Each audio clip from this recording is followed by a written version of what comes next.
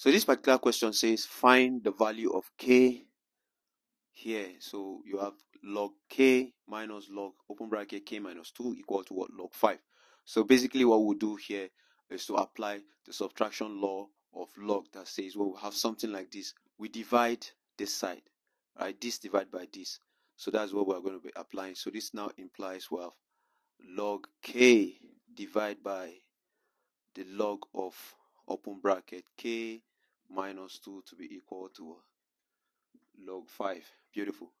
So since we have log here, we have log here, we can factor out the log. So we now have what? Log open bracket k over k minus 2 to be equal to what? The log of what? 5. Beautiful.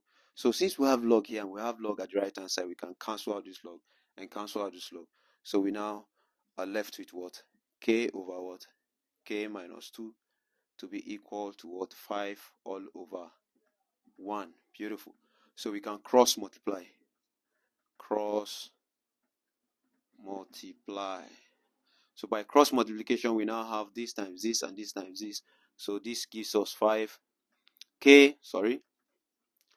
This gives us k to be equal to 5 open bracket k minus 2 and if you open the bracket you have k to be equal to 5k minus 10 so if 5k crosses equal to 10, we have k minus 5k to be equal to minus 10 and if you subtract now you have what?